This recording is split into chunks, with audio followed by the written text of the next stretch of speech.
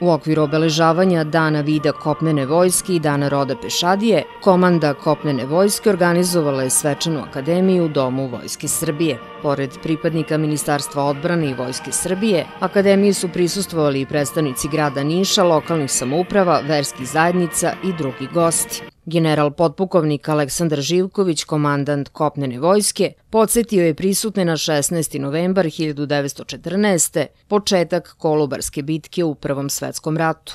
Golgota i vaskrs jednog naroda koji je slobodarstvo i rodoljublje uzidao u temelje moralne snage naše vojske.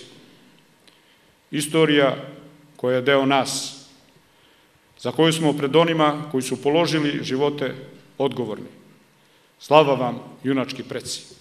Na svečanoj akademiji nastupili su umetnički ansambl Ministarstva odbrane Stanislav Binički, Niški kamerni hor, dramski umetnici Niškog narodnog pozorišta, vokalni i instrumentalni solisti. Povodom obeležavanja Dana kopnene vojske i Dana roda pešadije, u Domu Vojske Srbije tokom dana održan je svečani skup komande kopnene vojske, na kojem su najistaknutijim pripadnicima kopnene vojske za izuzetne rezultate u službi, dodeljene vojne spomen medalje i stimulativne mere. U delu programa namenjenog građanima, Vojni orkestar Niš nastupao je tokom dana na trgu Kralja Milana i prodefilovao Obrenovićevom ulicom.